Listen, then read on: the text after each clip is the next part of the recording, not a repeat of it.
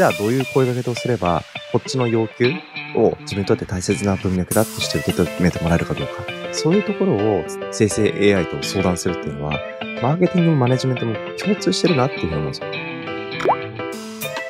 あと、マネジメントレイヤーの話でいくと、あの、うん今、今現場のそのリアルタイムでミーティング中に付加価値を達すみたいな話だったけど、うん。あの、やっぱ人を動かす仕事とかになると、社員との関わり方とか、うん。お客さんにこう、伝え方って、うん。性格とか入ってくるじゃないですか。うん。うん。性パー格。ソナリティ。パーソナリティとか、バッドニュースに対してこの人だとうんこういう反応するっていう経験ってわかるじゃないですか。あと、うんグッドニュースに対してこういうふうに感じるとか、うん。ねこういう性格だからこの言い方だとちょっと伝え方を気にしないといけないとか、うん。そういうのあると思うんですよね。うん。うん。で、その、まあ、あの、マーケティングでいくと、多分、社内だったり、社外っていうか、要は、うん。えークライアントフェイシング、まあ、社内でも上司とか、はい。あの、うんじ部下とか、うん。あの、ちょっとやりにくいなんか同僚とか、いっぱい、うんまあ、シーンあると思うんですけど、うんその社員の性格とかを、じゃあちょっと一回教え込んで、う。うん癖とか特徴とかを教え込んで、うん。で、あの、これが欲しいとか、こうして欲しいっていうベストな言い方、うん。う。うんんっていうのを、例えばマーケティングの例で例えると、例えば、あの、ちょっと売り上げ下がっちゃいました。で、こうすると良くなりますとか。なんで、この理由がこうこうこうっていうのは自分では持ってるんですけども、うん。それをベストな伝え方って何ですかっていうのを相手の性格も構えた上で、踏まえた上で、うん。あの、ちょっと AI に教えると、うん。あの、こういう伝え方がいいですよ、みたいな。うん。で、なんでかっていうのを説明してくれるんですよ。ははははうん、そういう性格はこういうふうに言った方がいいですよっていうことで、うんじゃあこういうふうに伝えたらどうとか、っていうそのちょっとスクリプトみたいなこう軽くぶつけてやると、結構それがすげえいいものだったりするんですよ。はいはいはい。うん。やっぱそ、そ、そこでこうマネージメントが伝える伝え方っていうところをちょっとこうブラッシュアップすることで、うんあのチームに、とかその、なんだろうな、そのオーラっていうか、いい環境を保ちながら前向きうにん。っていうところで、自分のリスクとか、会社リスクを抑えながら、うんはい。それをやっぱうん何回も、あのミスって、なんか相手がね、の気持ちを考えずにこうう、ん打っていくと何が起きるかっていう離職だとか、離職しちゃはいうとか。クライアントが嫌がるとか、あの上司からこいつはとか思われたりとか、うん同僚からノーって言われちゃうとか、あの意外とその、パフォーマンスにつながったりするんですよ、このコミュニケーションっていうのは。うん。はいはい。うんで、マーケティングってさ、結果出すのにいろんな人と一緒に仕事するんで、うん上も下もクライアントも外も中もっていうことで、はい。あの、四方八方にコミュニケーションする人がいっぱいいるので、うん。まあ、毎回それを使うわけじゃないんですけど、うん。まあ、特にちょっとその山場とか、なんかもう課題に直面した時とか、うん。うん、うんそういう時にこう伝え方って結構大事だなっていうふうに思いましたとそうだ。ね。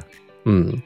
うん。そう。そこから生まれるそのマーケティングの結果うん。とかも絶対、まあ、間接的にですけど、絶対うん。いいと思うんだよね。そうだね。うん。うん悪くはない。絶対悪くはない。いや、なんか今の話聞いて思うのは、そのコンシューマーとか顧客に対してコミュニケーションをする。その先に、まあ、売り上げであったり、その発注、実施内容に対する満足度を上げるって、その過程ですでにマーケティングって行われてるわけじゃないですか。うん相手方が欲しいと思うものに対して的確に答えていく。ないしは相手方が欲しいと言ってなくても、それをうん欲しいと潜在的に思ってるものを先に提示し、それに、あ、待ってました、それっていうふうに思ってもらえるっていう状態。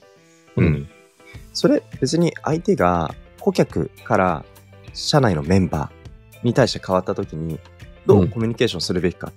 うん、それは相手方のメンバーが何か指摘をされて、うわ、こんなめんどくさいことをまた指摘しやがってっていうふうに後ろ向きに捉えて、なんかもう拒絶反応を示すのか、なんか痛いとこつくんだけど、なんかそう言われてみると、辛いけれどもやんなきゃいけないなっていうふうに思うかどうか。うん。うんそれをやるべきだ。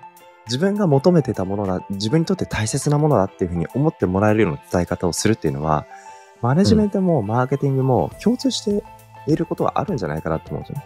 うん。うんで、そうなった時に部下に対してどう関わるべきかってことを分かんないこと多いじゃないですか。うん。うん。部下だけじゃなくて、クライアント先だったり、うんうんパートナー企業だったり。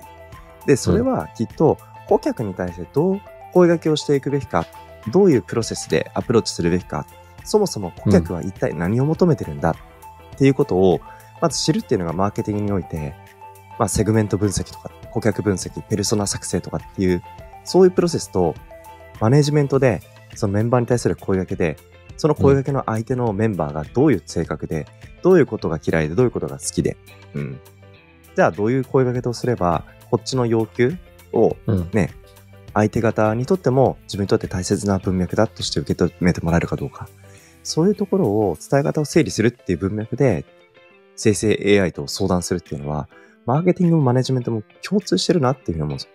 いや共通してますよ。うん。うん。そう。あのーそこの経験って足りてないこと多いじゃないですか、僕ら。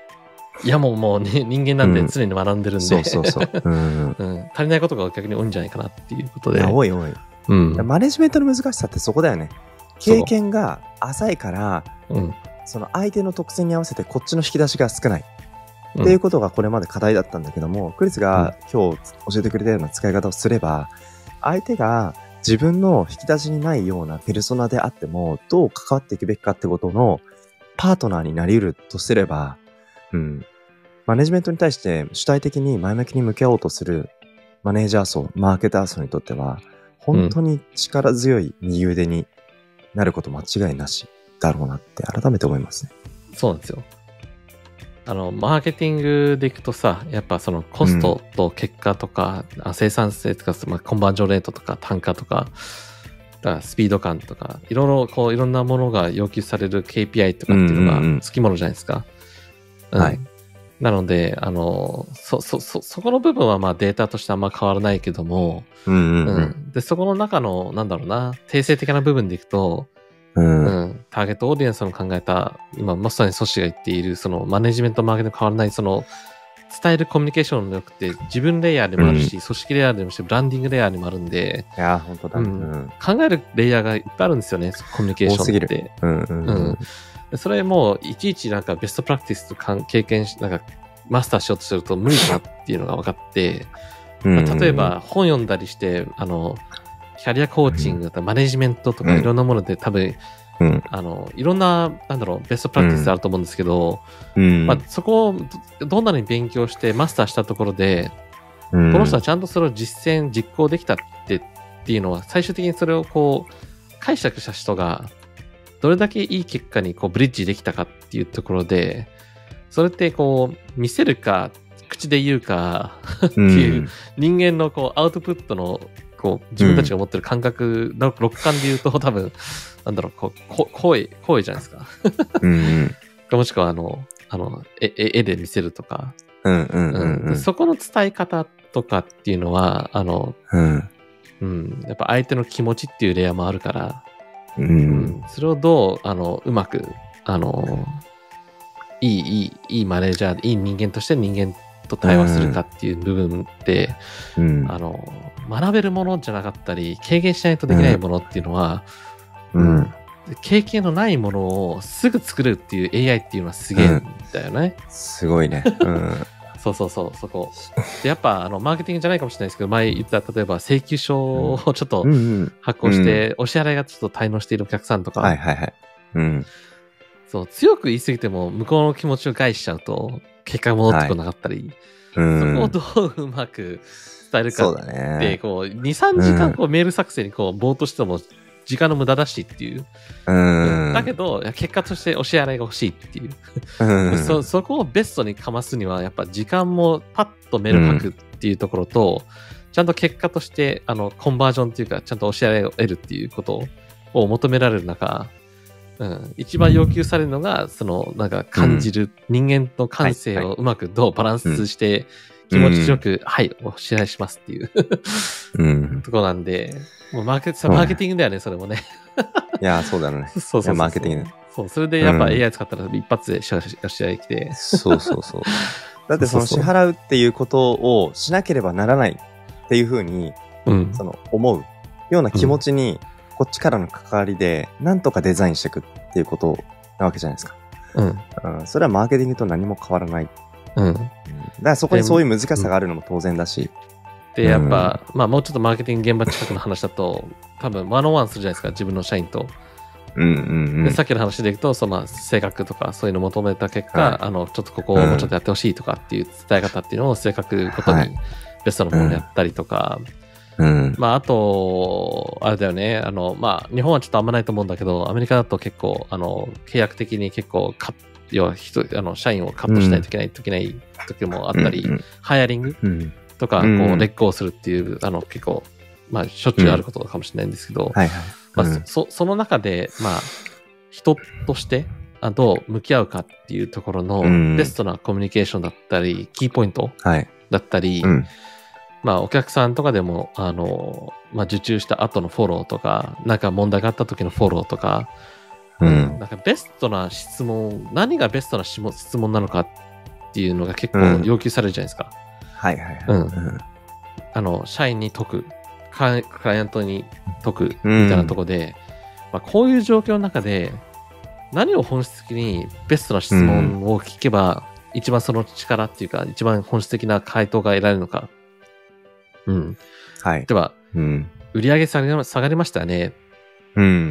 っていう質問なのか、あの、売上下がりましたね、えっと、こういうちょっと知見とか、こういうデータ見たときこういうここなんですけど、うん。あ、の、どうなんですかね？なのか、うん。あの、その要因についてちょっと教えてもらえませんか？だとか、はいはいはい。人によって多分、あの、質問された時のうん。受け答えの、なんていうの、こう、あの、フィーリングっていうのが違うと思うし、うん、その性格とか、あと何を聞けばいい答えが返ってくるのかって、うんその質問を作るのも結構大事だったりするんですよね。そうだね。う。うんん。こういう状況の中、何を聞いた方がいいですかみたいな。っうん。ていうのをちょっとこう、あの、自分の同僚として AI を使うっていうのはう、ん。すごく大事。う。うんん。そう24時間、いつでも動いてくれる同僚ですからね。そうなんですよ。あと、例えば、うんまあ、広告代理店でもなんかちょっとクレームが入ってきたりとか、うんあの、ちょっと、あの、予算が変わっ上司が変わった、組織が変わった、いろんな理由で多分カ,、うんうんうんカットされるっていうか、失注するとかあるんだと思うんですけど、まあ、その中で、まあ、今後のためにどう、何を生かされるべきなのかっていうところで、まあ、最最終的にそのサーベイ調査とかいろいろおヒアリングしたりとか、うんまあ、もしくはその担当者と会って、で、担当者もね、その時間ないんで、なるべくその限られた時間で何を引き出したらう、ん。もっとベストな結果になるのかっていう、そのうん。限られた時間をベストに尽くすためには何を質問すればいいのかっていう、うん。うん。っていうのを状況を整理してあげて、こう、AI に盛り込んで盛り込んで、最終的にベストな、これ絶対聞いた方がいいよっていうのをちょっと教えていただいて、うんで、そこに足りないものと教えていただいたことをちょっとこうマッサージして、平均化して、うんちょっといいミーティングにするみたいな。ううんん。っていう僕は結構ね、そういう使い方が多分8割方なんですよ。なるほど。うん。いやー、面白い。うん。やってみたい。うん。そう。で、いくと、うんまあ、広告制作せあの作成とか、メールマーケとか、いろんなコンテンツ作成とかも、すごい品質が上がるんですよね。うん AI にこれ書いてって言えば、なんか、どんどんどんどん書いてくれるものだと思ってたんだけど、で今の状況ってそれできなそう？できる？えっと、僕はできないと思ってて、